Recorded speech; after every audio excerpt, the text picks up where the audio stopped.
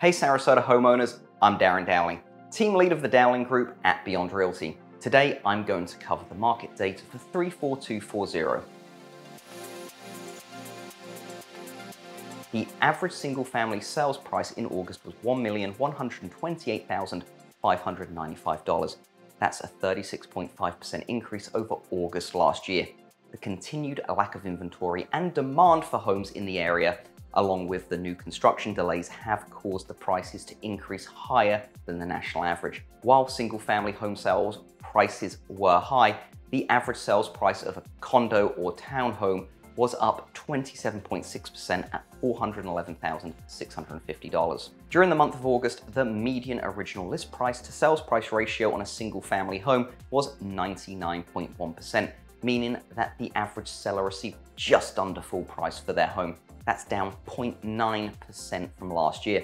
More proof 34240 is still in high demand and the normalizing market is not having a negative impact in this specific area.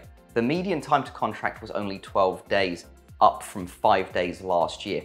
That's still very, very fast. We saw just 31 single family homes close, that's down 8.1% from last year inventory remains low with just over 1.6 months supply of inventory for single family homes, which is up 55.9% versus last year when there was just over three weeks worth of inventory. Showing more options and inventory is slowly hitting the market. However, we are clearly in a strong seller's market, a common trend throughout Sarasota and Manatee County. If you're a seller, I would love to sit down with you and help you prepare you and your home on what to expect when selling. For you home buyers out there, I would love to set up a buyer's consultation with you and strategize on how to conquer this market and take advantage of the opportunities that are out there today. If you have any questions regarding your real estate needs, you can always email me at darren at beyondrealtyfl.com.